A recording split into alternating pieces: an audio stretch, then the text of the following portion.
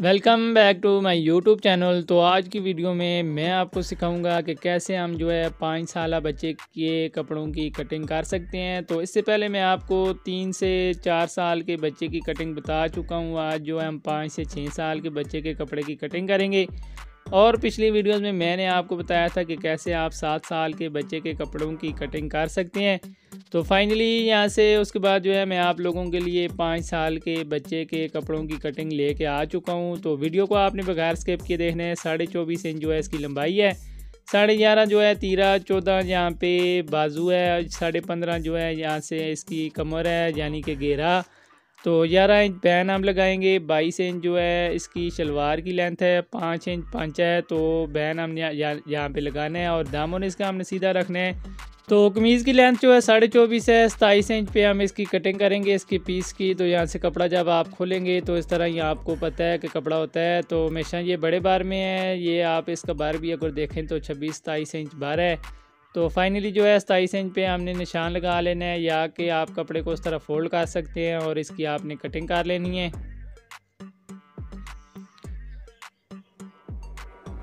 तो देख सकते हैं, कपड़े को हमने फोल्ड कर लिया है। वीडियो थोड़ी स्लो बना रहा हूँ, ताकि आप लोगों को समझ आ सके इसमें। वीडियोस को हमने तेज़ नहीं किया हुआ, क्योंकि बहुत से लोगों को फिर समझ नहीं आती। तो फाइनली इसके डबल पीस की हम कटिंग करेंगे। शलवार भी इसी से हमने निकाल ली है तो ये पीस आपने साइड पे कर लेना है। क्योंकि उससे हमने बाजू निकालना है तो फाइनली जो है कपड़े को आपने इस तरह उल्टा करके ये आप देखें, इसको डबल पीस कर लेना है। तो सीधी साइड आपने हमेशा कोशिश करनी है, अंदर की साइड रखें तो इस तरह आपने कपड़े को बिछा लेना है। ये देख सकते हैं, कपड़े को डबल तय लगाने के बाद हमने बिछा लिया है। और किनारी की जो है, अब यहाँ से हम कटिंग कर लेंगे। तो किनारी आपने हमेशा जो है किनारी की कटिंग करनी है। उसके बाद जो है हमने कमर का निशान लगाना है तो कमर जो है हमारे पास साढ़े पंद्रह इंच है तो यहाँ से हम साढ़े सोलह इंच पे निशान लगाएँगे। तो फाइनली यहाँ से हम निशान लगा लेते हैं ये आप देख सकते हैं। तो ए, एक इंच तक आप एक्स्ट्रा रख सकते हैं अगर आपके पास कपड़ा ज़्यादा है तो आप डेढ़ इंच भी रख सकते हैं। यहाँ से जो है हम एक इंच ही रखेंगे। तो फाइनली दो निशान आपने लगाने हैं और लाइन लगा के आपने कटिंग करनी है। हम मैं इसी तरह जो है यहाँ से हम कटिंग करेंगे। तो फाइनली हम यहाँ पे कटिंग कर लेते हैं।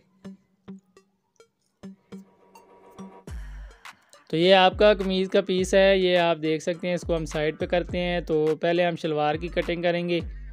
तो ये पीस हमारे पास आप देखें तो आपको नज़र आ रहा होगा। तो आपने इसको जो है, इससे भी हमने जो है इसका घेरा निकाल लेना है। यहाँ पे बाईस इंच जो है शलवार की लेंथ है।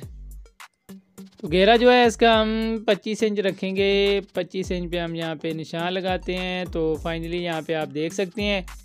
तो आपने अपने हिसाब से भी रख सकते हैं। अगर बच्चा जो है ज़्यादा हेल्दी है तो आपने उस हिसाब से रखना है। यहाँ से फाइनली हम इसकी कटिंग करते हैं।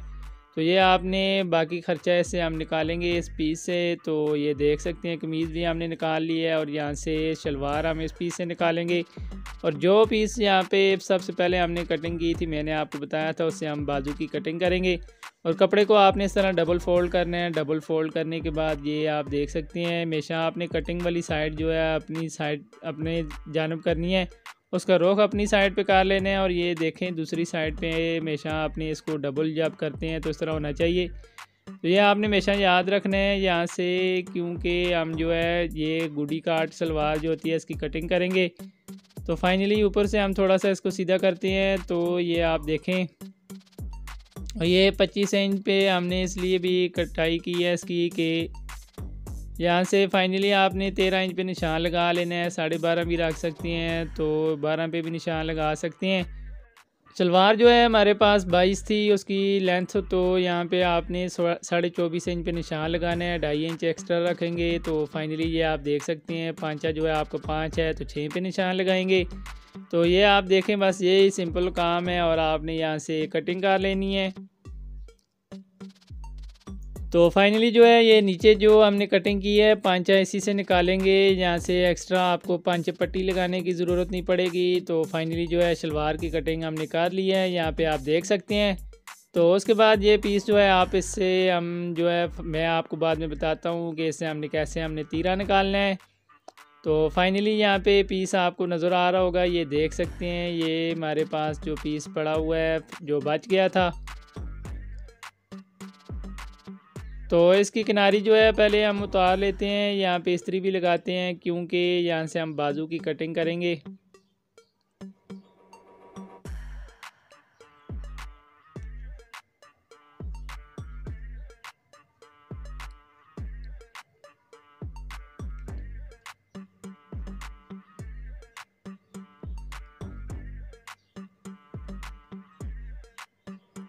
तो पीस को यहाँ पे आपने डबल करना है। डबल करने के बाद फिर से हम डबल करेंगे, पर पहले हम इस्त्री लगाएँगे। यहाँ से देख सकते हैं, और इस्त्री की वीडियोस भी साथ ही जो है मैं आपको दिखा रहा हूँ। नहीं तो इसकी मैं कटिंग कर सकता था। टाइम की काफ़ी बचत हो सकती थी।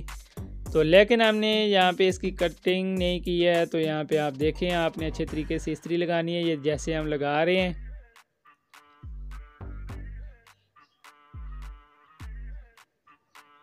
और दोनों साइडों पे आपने इस्त्री लगानी है। एक साइड पे सिर्फ़ इस्त्री नहीं लगेगी, ये कपड़े पूरे पे आपने इस्त्री लगा लेनी है। ये जो पीस हमारे पास है।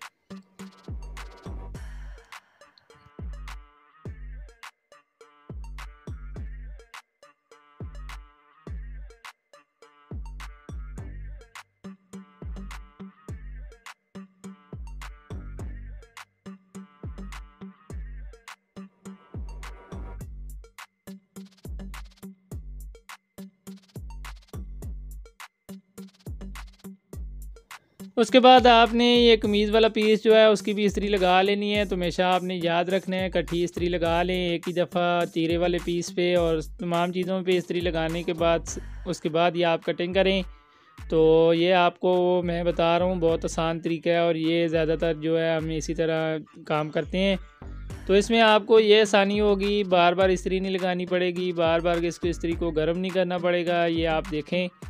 तो फाइनली जो है हमने इस्त्री हम लगा लेते हैं इस पीस पे भी तो आपने भी इस तरह इस्त्री लगा लेनी है।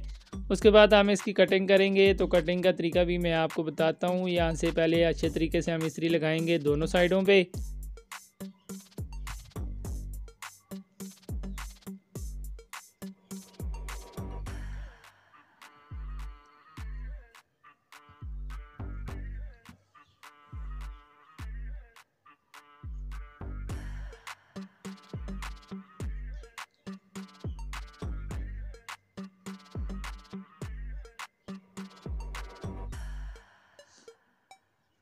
तो फाइनली ये जो है, हमने इस्त्री लगा लिया है। यहाँ से थोड़ा सा हल्का सा हम इसको कटाई करते हैं ताकि ये सीधा हो जाए। यहाँ पे देख सकते हैं।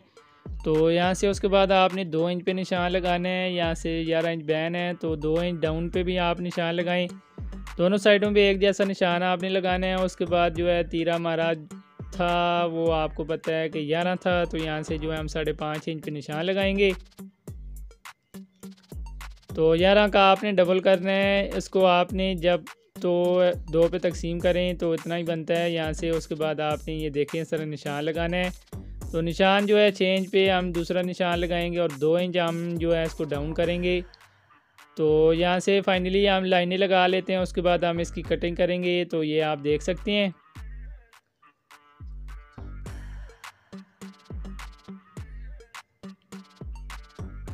तो फाइनली यहाँ पे हमने लाइनें जो हैं वो सीधी कर ली हैं, उसके बाद ये आपने पट्टी का निशान लगा लेना है तो यहाँ पे नौ इंच पे हम निशान लगाते हैं।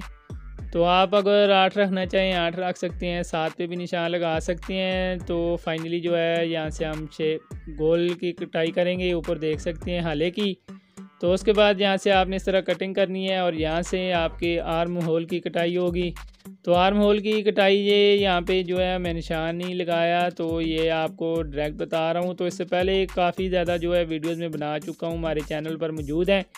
तो अगर आपको समझ ना आए तो आप वो वीडियोस देख सकते हैं। तो बैक साइड से आपने इस तरह कटिंग करनी है। ये देखें, यहाँ से आदि एक्स्ट्रा हमने रखना होता है बैक साइड को। तो ये आपने इस तरह कटाई कर लेनी है और बैक साइड की और सामने फ्रंट की काफ़ी ज़्यादा वीडियोस जो है मैं निशान लगा के बना चुका हूँ तो आपने वो वीडियोस लाजमी देख लेनी है। तो फाइनली जो है हमने पट्टी की कटिंग कर लेनी है, ये आप देखें।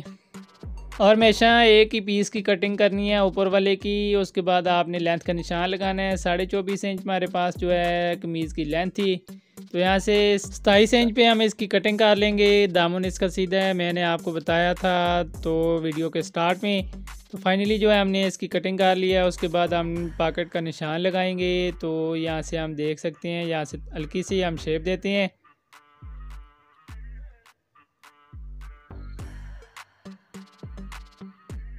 और ये आपने हल्की सी शेप देनी है और सीधी आगे से कटिंग करनी होती है, ये आप देख सकते हैं। उसके बाद पॉकेट का जो है हम निशान लगा के इसके टुके लगा लेते हैं। तो कट यहाँ पे हमने लगाने हैं। तो तीन इंच पे यहाँ पे पहला हम लगाते हैं, दूसरा जो है सात इंच पे। तो उसके बाद तीसरा जो है हम दस इंच पे लगाएँगे। दो तीन इंच पे आगे दरमियान वाला जो है आपका चार इंच पे आ जाएगा। तो फाइनली जो है कमीज़ की कटिंग आपकी हो चुकी है। और यहाँ से आर्म होल हमने देख लेना है, यहाँ से कितना है। तो ये सात, साढ़े सात इंच है तो फाइनली इतनी कटिंग हमने जो है वो बाजू की करनी है। तो बाजू की जो है कटाई कर लेते हैं, यहाँ से देख सकते हैं, इस्त्री हमने जो है इस पर लगा ली थी तो मैंने आपको पहले बताया था, दूसरी साइड से हमने गालबन इस्त्री लगाई थी इस पीस की। तो दूसरी साइड हम सामने करते हैं।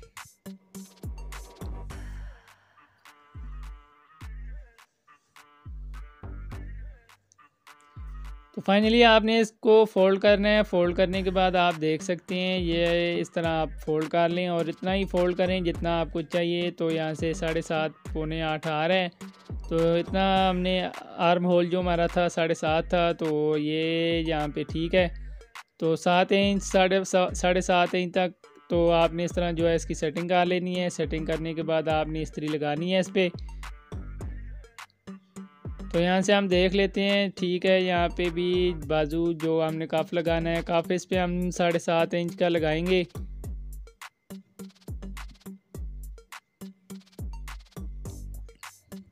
तो नीचे से साढ़े चार है, यहाँ पे हमारे लिए काफ़ी है, उसके बाद हम यहाँ से इसकी कटिंग कर लेते हैं। तो ये निशान लगा के कटिंग कैसे करनी है, इसकी वीडियोस भी ऑलरेडी मैं काफ़ी ज़्यादा जो है बना चुका हूँ, हमारे चैनल पर मौजूद हैं, आप प्ले लिस्ट में जाके देख सकते हैं। और ऊपर आपने गोल शेप देनी है, ये देखें, नीचे से आपने उस तरह कटाई करनी है उसके बाद आपने फाइनली यहाँ पे टुका दरमियान में लाजमी लगाना है, यहाँ से हम कटाई जो है बाकी भी कर लेते हैं। बाजू जो हमारा था, चौथा था तो यहाँ से हम बारह पे इसकी कटाई करेंगे, आपने चौदह पे ही कटाई करनी है तो यहाँ से हम जो है इसका काफ़ बड़ा लगाएँगे। काफ़ थोड़ा चौड़ा लगाना है, इसलिए यहाँ से हम कम कम कटिंग कर रहे हैं। जितना आपके पास बाजू लिखा हुआ है आपने उस हिसाब से कटिंग करनी है। तो इससे पहले काफ़ी वीडियोस में मैं बता चुका हूँ, बाजू की कटिंग तो अगर आपने वो वीडियोस नहीं देखी हुई हैं तो प्ले लिस्ट में जाके आप देख सकते हैं, आपको समझ आ जाएगी। तो आपने उसकी किस हिसाब से कटिंग करनी है और कितना काफ़ आपने लगाना है और तीन इंच पे यहाँ से हम इसका कट लगाते हैं। तो ये यहाँ पे जो है इसके साथ चक पट्टी नहीं लगेगी। आपको पता है कि बच्चों का है तो इसलिए यहाँ से उसके बाद हम तीरे की कटिंग करते हैं। तो फाइनली जो है हम तीरे की कटिंग कर लेते हैं। यहाँ से पहले इस पर अच्छे तरीके से आपने इस्त्री लगानी है। इस्त्री लगाने के बाद जो है आपने पहले इसको डबल करना है, फिर इस्त्री लगाएँगे। तो इस्त्री आपने दोनों साइडों पे लगानी है अच्छे तरीके से। मैं आपको बार बार हर वीडियोस में यही कहता हूँ, कपड़ा क्योंकि बढ़ जाता है और तीरे की कमल कटिंग मैं आपको भी आप ऑलरेडी बता चुका हूँ। उस पर छः सात वीडियोस ऑलरेडी हम बना चुके हैं, कैसे आपने बड़े बंदे के तीरे की कटिंग करनी है। तो फाइनली ये छोटे बच्चे की है, इसलिए ये पीस हमेशा जो यहाँ से शलवार से उतरेगा, इसी से हम जो है इसकी कटिंग करते हैं। तो देख सकते हैं, यहाँ पे फाइनली जो है हमने इस्त्री लगा लिया है। इस्त्री लगाने के बाद यहाँ से तीरा जो है हमारे पास साढ़े ग्यारह इंच है तो फाइनली सवा छः और आपने आधी इंच हमेशा एक्स्ट्रा रख के यहाँ पे इसकी कटिंग करनी है। तो फाइनली आप देख सकते हैं, हमने यहाँ पे निशान लगाने हैं और इसकी कटिंग कर लेनी है। तो चार इंच पे हम यहाँ पे निशान लगाते हैं पहला। तो उसके बाद दो इंच पे हम निशान लगाएँगे, क्योंकि हमने वहाँ पे कमीज़ के हले का भी दो इंच पे निशान लगाया था तो यहाँ से पौने तीन। ढाई इंच पे, पौने तीन पे लगा सकते हैं। तो फाइनली निशान लगाने के बाद आपने इसकी कटिंग करनी है, ये आप देख सकते हैं। तो अगर आपको वीडियोस की समझ ना आए तो दोबारा से आप वीडियो को दोबारा देखें तो आपको वीडियोस की समझ आ जाएगी। तो ये देखें फाइनली हमने तीरे की कटाई कर ली है। तो अगर आज की वीडियो जो है आपको अच्छी लगी हो, हमारे यूट्यूब चैनल को ज़रूर सब्सक्राइब करें और बेल आइकन को लाजमी प्रेस करें, ताकि इस तरह की वीडियोज़ के मज़ीद नोटिफिकेशन आपको मिलते रहें। तो यहाँ से कटाई करने के बाद ये देखें, सूट की कटिंग आपकी कंप्लीट हो चुकी है, मिलेंगे नेक्स्ट वीडियो में।